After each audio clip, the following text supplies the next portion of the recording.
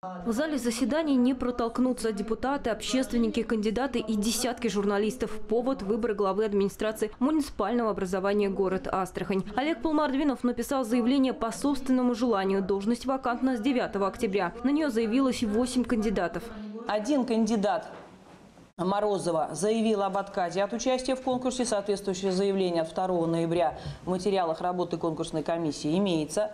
Два кандидата Уталиев и Раджапов не явились на заседание конкурсной комиссии. В итоге конкурсная комиссия в составе шести человек рассмотрела предвыборные программы пяти кандидатов. Андрей Бодаковский первым подал заявку на выборы сити-менеджера. Он руководит региональным агентством по регулированию контрактной системы в сфере госзакупок. Олег Шейн, депутат Государственной Думы. Тимофей Щербаков, депутат областной Думы. Данил Ивашкович, об этом кандидате известно, что он занят в сфере образования. Замыкает список Радик Харрисов. Исполняющий обязанности министра промышленности, транспорта и природных ресурсов. Из пяти конкурсная комиссия выбрала двоих – Андрея Бодаговского и Радика Харрисова. Кто из них займет пост сити-менеджера, решали городские депутаты. Кто за?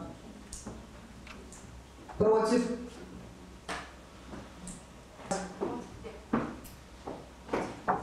Воздержались.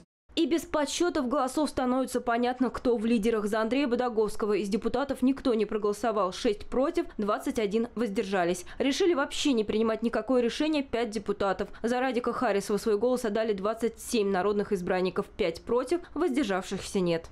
Заметили, наверное, в зале, депутаты задавали точечные вопросы и получали на них абсолютно, так сказать, утвердительные ответы.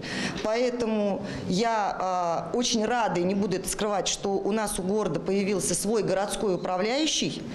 И э, буквально с завтрашнего дня, как только будут опубликованы документы, э, мы начнем работать уже в полную силу. Первый вопрос – это, безусловно, так скажем, городская среда.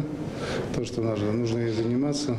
Нужно заниматься дворовыми территориями, нужно заниматься, э, так сказать, тем вопросами, которые накопились, и с выделением земельных участков для, э, так скажем, льготной категории граждан.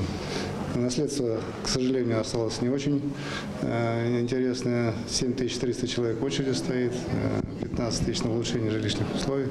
Поэтому первое, что мы сделаем, мы сделаем, так скажем, нормальный подход к бюджету, сделаем нормальный подход ко всем программам, которые на сегодняшний день сформулированы.